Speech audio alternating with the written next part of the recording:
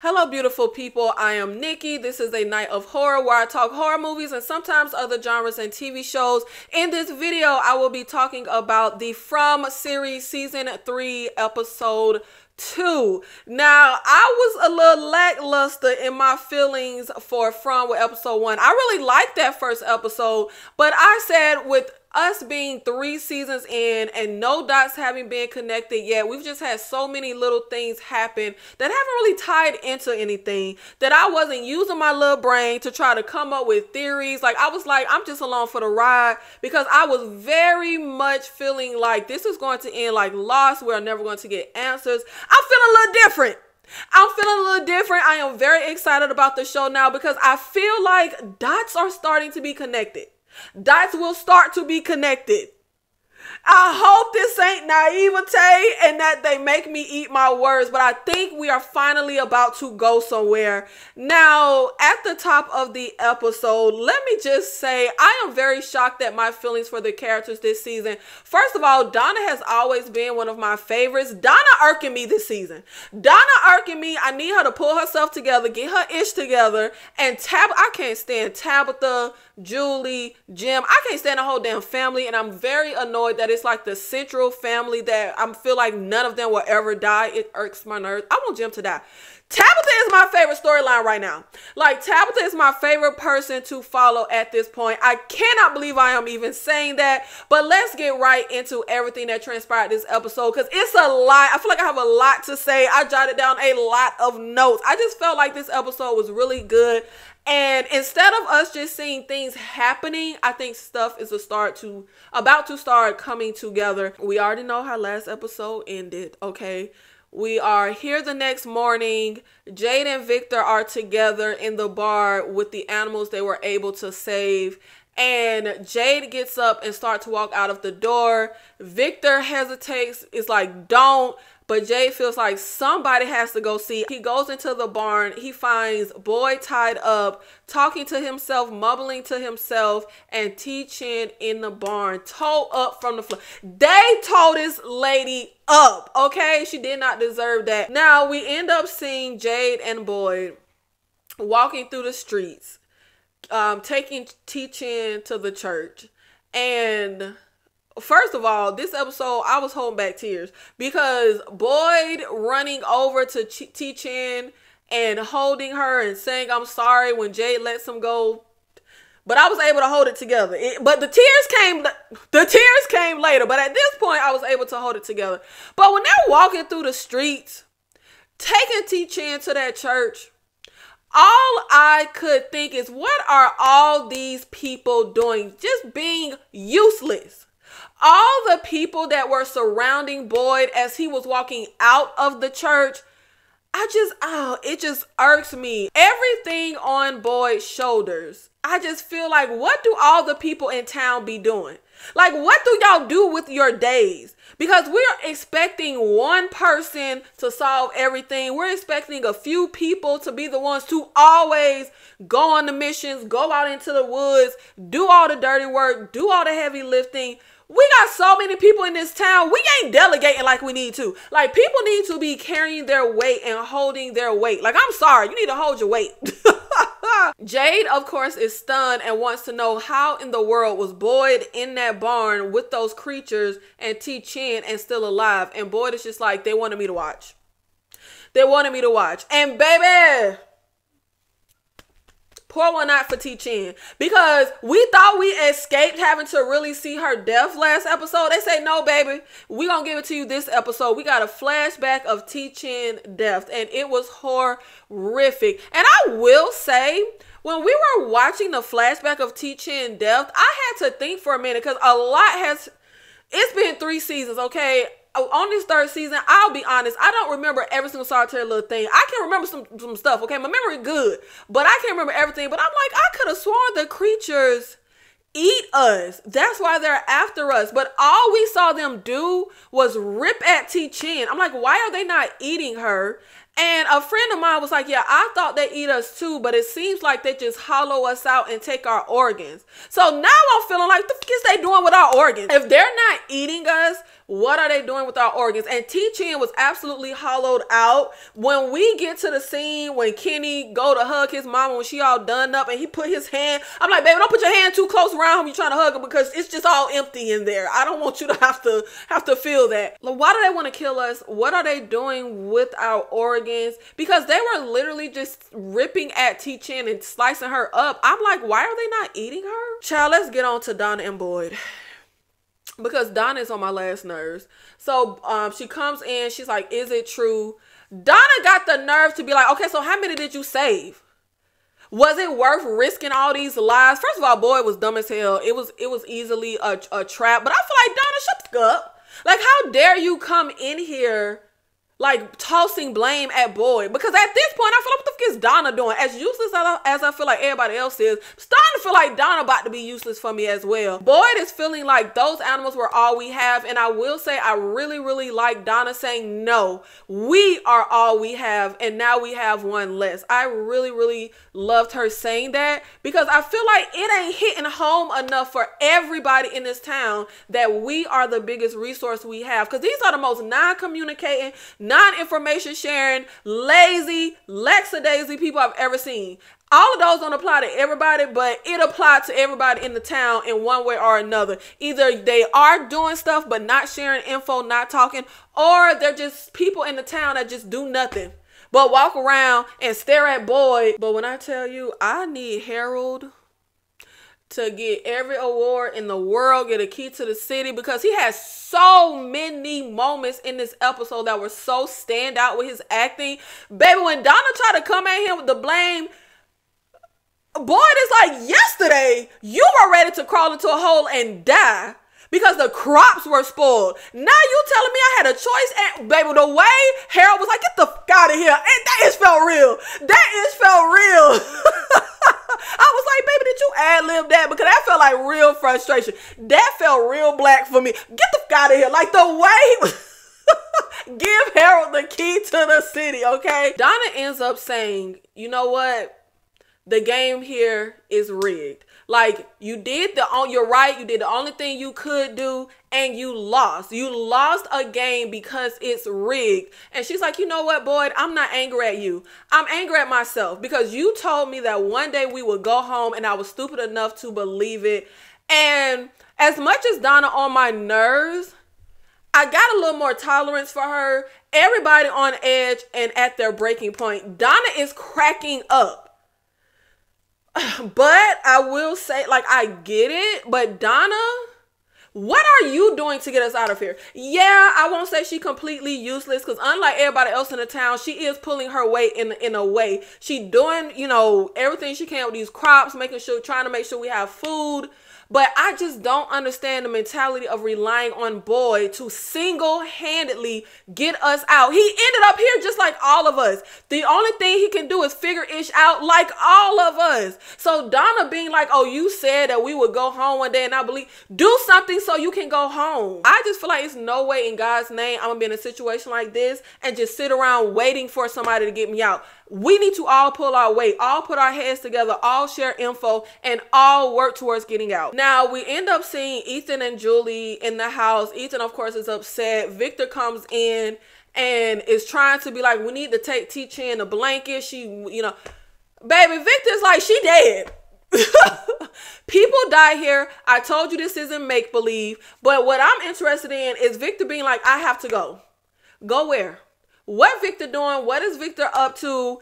If you've been on my channel, I've been following the show since season one, and my thing that I am a broken record in saying is that Victor has been here the longest. I feel like Victor has information that we don't know. He maybe don't know that needs to be unlocked and i just do not understand why we do not freaking rack the brain pick the brain of the person who has been here the longest. So i guess maybe i'm i'm hopeful that something is about to start connecting and transpiring. So when victor is just like I gotta go. I'm, I'm just like, what has this sparked? What is popping off? Where is Victor about to go? We do see Ethan later on at Colony House looking for Victor. Donna hasn't seen him, so I'm very, very interested in where we are going to find Victor at. Jim and Kenny end up finding tons of food growing by the lake where they are out and it's making me feel like what do the totems mean and how can we use them for one typically when we are outside trying to hold up in like a tent or that rv van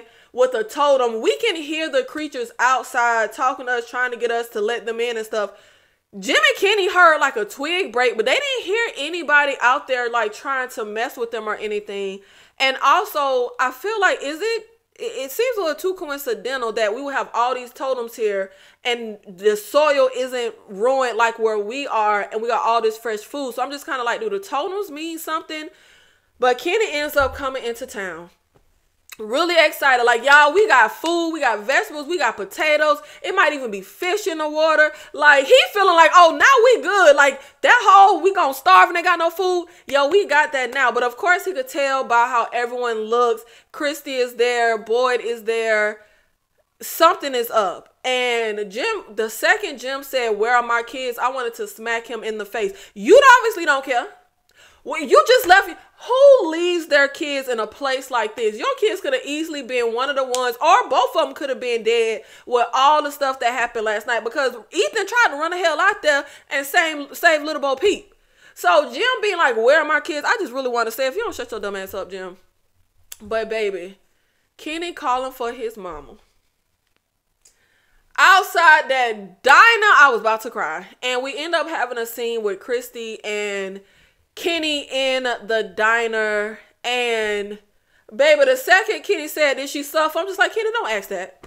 Kenny, Kenny, don't ask that. Because all she did was suffer. Kenny, Kenny, you know where you at. Don't ask questions like that.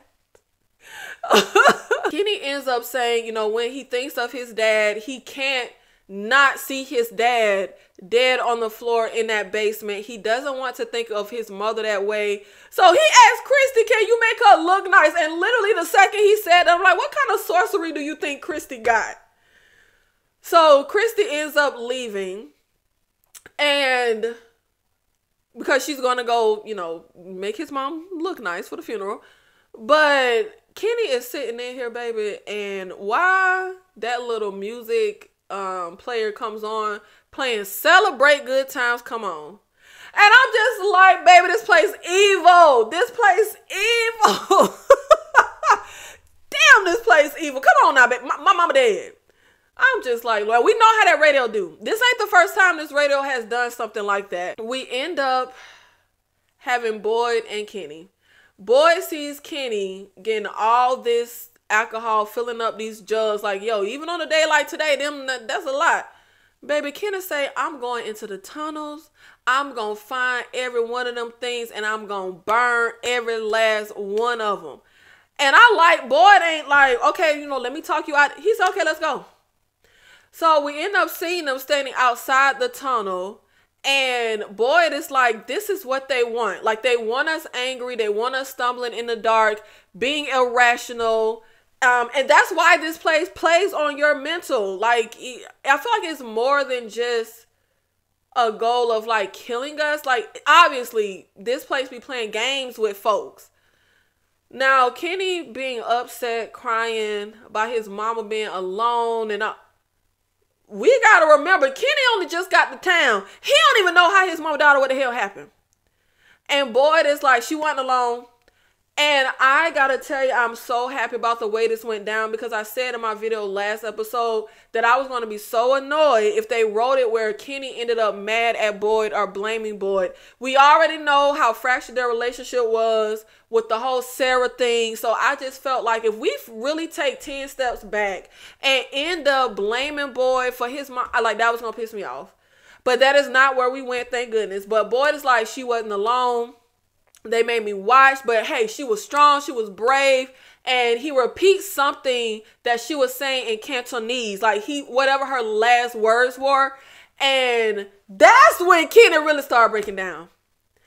And come to find out, his mother's last words were "Take care of him. he'll be alone now. Baby, the way I about the way I about fell out. The episode opens with Boyd repeatedly speaking like in in Cantonese because he wanted to remember her last words. And when he says it to Kenny, he's like, I don't even know if I'm I'm like pronouncing this right. But baby, Kenny got the message. And Boyd and Kenny hug. And I gotta say, I'm not against Kenny whole plan. Um, we need to take all them useless ass townsfolk that don't do nothing, send their ass down into the tunnel. Everybody need to be helpful. Go down there, pour, pour the uh, accelerant, light that bitch up. like do something. Y'all need to start pulling you pulling your weight. But it just annoyed me when boy was walking through the town at the top of the episode and everybody just just hovered over there like y'all niggas don't do nothing. Y'all heard them cows out there. Y'all heard us out there. Y'all ain't come out and do nothing, which not coming out was smart, but still. When Kristi goes into the church to get Kenny's mom fixed up, Jade is in there with her. And she ends up asking him for help. She wants to get Kenny's mom fixed up before Kenny sees her. And baby, when Kristi is like, I'm not a mortician, that is exactly what I was thinking when Kenny even made the damn request. Like, what kind of magic you expect her to pull off? I would have been like, look, baby, I'm sorry, but it's not to be a closed casket. Like, ain't nothing, there ain't nothing to be done. But Jade and Kristi actually do end up getting Tian-Chen together. I'm not happy with the way they're treating Sarah. Sarah comes to tell Kristi earlier in the episode that Tian-Chen is dead. And just you're not allowed to come in here and the attitude they have with Sarah. I absolutely get what Sarah did. But I feel like there should be some type of leeway, like a special circumstance leeway. This place messes with your mind. And it's not like Sarah did stuff. Remember that guy who like slit people throat and stuff? Sarah did not do anything because she's a psychopath, because she's malicious, because she wanted to hurt people. Sarah truly believed that listening to the voices and doing these horrendous things would lead to everybody going home. So I don't know. I feel like that now should Kenny forgive her? No, of course not. That was his dad. But everybody else ain't lose nobody. Even Jim them. She yeah, she tried to kill Ethan, but he ain't he ain't killed. she killed her brother. Like I really feel like nobody besides Kenny really has any real stance to be holding this grudge against Sarah to this point. But Sarah comes into the church with this dress and she's like telling them how her and Tian-Chen would, you know, play dress up, and this was her favorite dress. And she said that she would wear it when they all went home. And I about cried when Sarah said that. Just think about Tian-Chen saying she was gonna wear that dress when they went home. But they don't have no attitude with Kristi at this point. Jay don't really say nothing. But Chris is just like, thank you, Sarah. It would seem as if Sarah would be that stereotypical character to have like a redemption arc, maybe sacrifice herself for Ethan or something, or die or whatever um or kenny. Um i guess that would be the route of the redemption arc. Sacrifice for kenny. But i don't think we should go that route. I really don't think we are going to go that route. I think sarah will be one of the people to make it out alive. Are we already casting our votes on who we think will make it out of the town and make it out alive? I'm going to cast my vote for Sarah. Now, if they want to give somebody a redemption arc, as much as I cannot stand Randall and he can just die, y'all could give him a redemption arc. Like, turn him around, make him likable. But I was very shocked at how good they made Tian-Chen look. And just at the moment, that is when Boyd and Kenny come into the church to see Tian-Chen. Circle back to how they be treating Sarah. Julie comes over to Sarah to say thank you for helping them, you know, in the first episode. And Julie goes to say how you know what happened to her. She's not okay. Is is is Jim even checking, trying to make sure his daughter okay after what happened to her? Like Jim, Jim oh, ah, I can't stand Jim. I can't stand Jim. But Julie is saying how she's not okay. She think this place got into her head, has gotten into her head now, and she doesn't want want to hurt anyone. She doesn't want to end up like Sarah. I feel so bad for Sarah. This place is hard enough. Now she is so isolated. Anytime we see Sarah, she's sitting on the steps of a house by herself, just watching everybody walk by. And just speaking on Julie and that trance. We still don't even know why Julie and the other two were chosen in that whole trance state. Why breaking the music box woke them. It's just so many dots that haven't connected. But like I said, I got faith that that is where we are about to go. Now, something I found interesting is when Jim gets back to town, Julie has an attitude and she's like, What is wrong with you? Ethan almost died. Like, did you even know that? Why would you leave us? You should have been here. And she's like, I cannot be the fill in parent while you lose it. When Thomas died, of course, we know their infant Thomas died falling off a changing table or something. And Julia's like, when Thomas died, you and mom fell apart. I was only 15. I cannot do this again. At the very end of the episode, Jim answers the phone. The phone rings. Jim answers the phone, and we hear a voice saying, Dad, is Thomas. Now, baby, of course we know this ain't damn Thomas. Thomas died as a damn infant. Okay, that voice sound like a grown adult. Um, but I, of course we I feel like of course we know this is the the from place messing with him, and Jim is the right one to mess with because Jim was the dummy feeling like he could solve an illogical situation with logical solutions, who thought he could build a damn AT&T tower and call for help and was on the phone conversing with somebody who was like your wife shouldn't be digging. Jim the right one. Jim the right one. What what they finna do with Jim? Please, just just I'm just so sick of Jim. I just don't give him no more storylines where he gonna be stupid like how he had Randall tying Donna up to the damn tree we already know this is from something that's about to try and mess with him. We are to the point where we are on the edge. We trying to really break this town. With him getting this phone call, Julie and Ethan go to check on the animals and it's getting really close to being dark. So Jim likely gonna be distracted by being on the phone with his dead child slash adult voice, Thomas, and not even gonna notice that his kids ain't back yet before it gets dark. They're going to check on the animals. So I'm not sure where that's going to lead, but I know Jim is an idiot. So this place, Fromville, the place, the entity, whatever it is, is constantly spying on them. I feel like they focus so much on the creatures and nighttime and it's not safe out there at night but we're not safe ever. We're not safe in the daytime. It was daytime when boys said, You can't break me. It was daytime with Julie fussing about Thomas. I just feel like, why are we under the delusion that we're ever safe? I don't care if it's daytime. I don't care if we have a talisman up as long as I am in this place, I would never feel safe. So, of course, Fatima in the bathroom again. That's what we pop up with her at this time, barely eating, barely sleeping, and now a tooth falls out. And her and Ellis end up going to try and see Kristi, but only Marielle is there because, of course, Kristi is bu- busy trying to do what she doing. They don't want the um, you know, the one who was abusing substances to kind of help them, but they really have no choice. Marielle ends up saying that pretty much Fatima is malnourished. She's surprised only one tooth fell out. I just feel like do teeth really fall out if you malnourished? Not like it, I don't know. I, it just seemed like I just look look. I'm not a doctor. I, I don't know nothing about this. We end up taking Fatima back home she tells Ellis to go check on his dad, which I'm gonna get into that because I was so annoyed. But Fatima is just about to walk into the house. At first, I watched this episode twice. On my first watch, I thought something was keeping Fatima from going in, but on my second watch, I don't think that's what happened. I think as Fatima is about to walk into the house, the wind blows, and I think she smells the rotting food, but it smells appetizing to her. That distracts her from going into the house. So the smell of food makes her sick, but the smell of rotten food is appetizing, and she ends up chowing down on all this rotten produce. And now I'm just feeling like, will she bite into a living animal next and then a person? Like craving rotting food now, craving flesh later. And then it got me thinking, how we know Fatima even pregnant? How do we know what's inside Fatima? What could be possibly happening or transforming her? Crops are suddenly rotten to feed Fatima and aid in her transformation. Now that all the crops rotten, it's the only thing Fatima can eat. I feel like I this probably so far fetched, but I'm like, is Fatima turning into a creature Well, she because if she turns into a creature and kills Ellis, that's another way to break Boyd, and we know this place wants to break Boyd. But it got me thinking, who are the creatures? Like, who were they? Were they human at some point?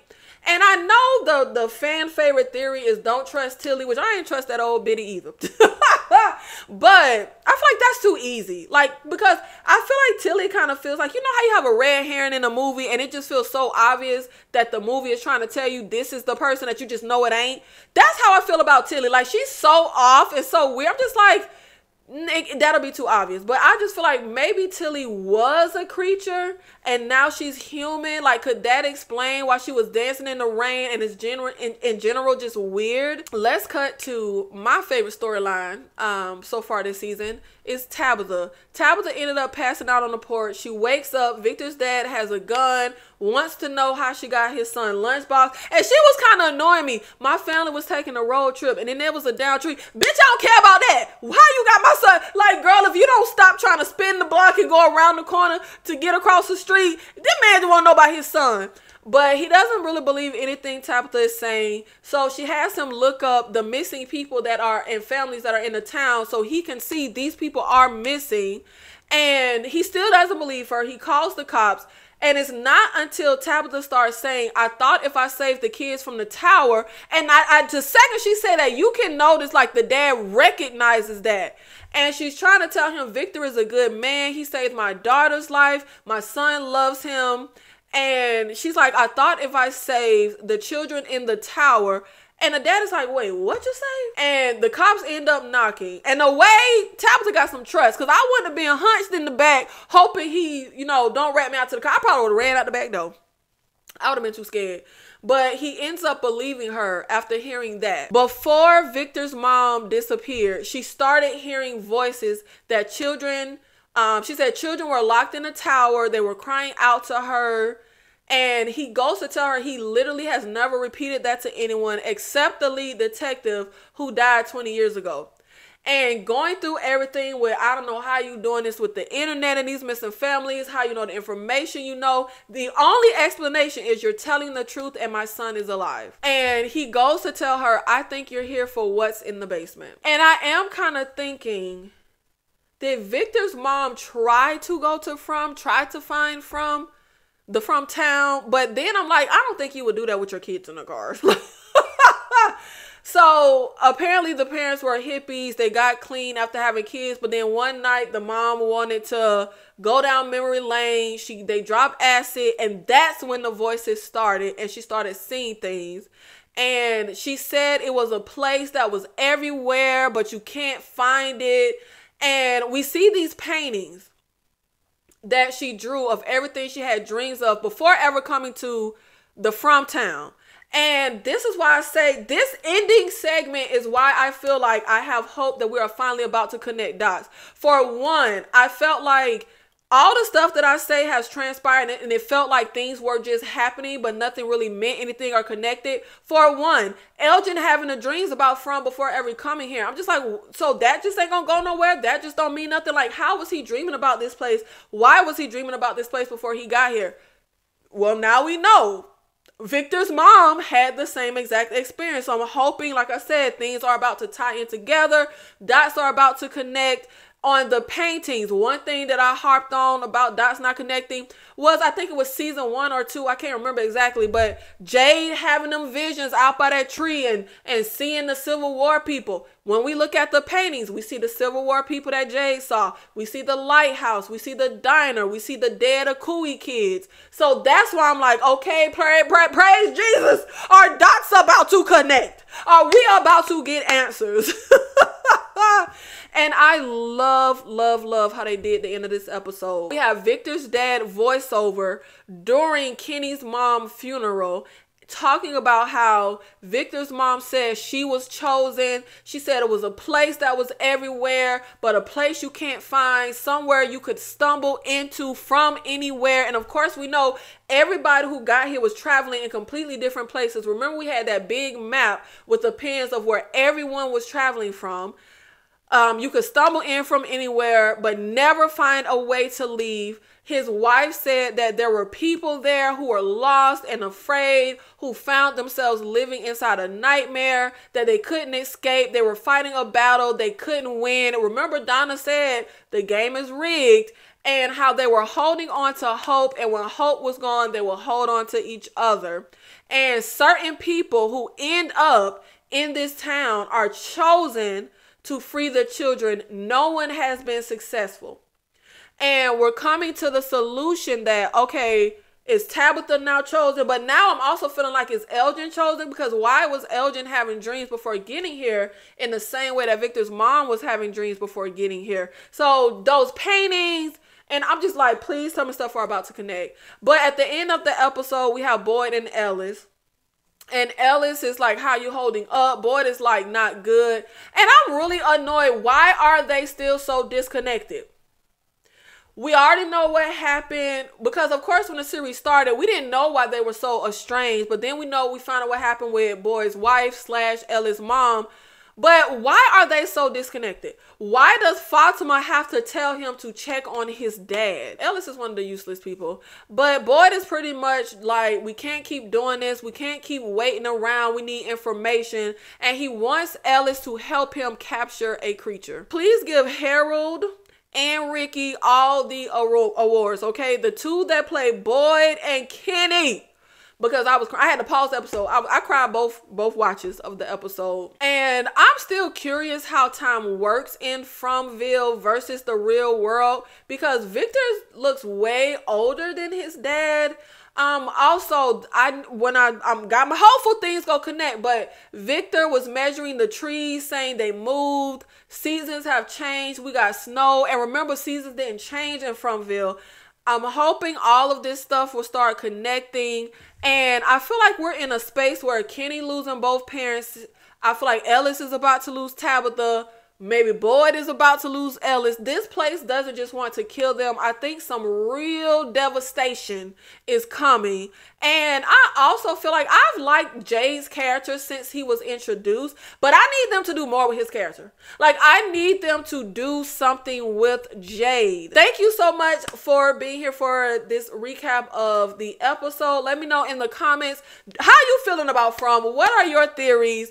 Do you think dots are about to finally connect? If you like this video, please um like the video, hit like on the video, comment down below, let me know you're here. Please make sure you are subscribed and have your bell notifications on. I will see you in the next one. Thank you. Goodbye. Goodbye.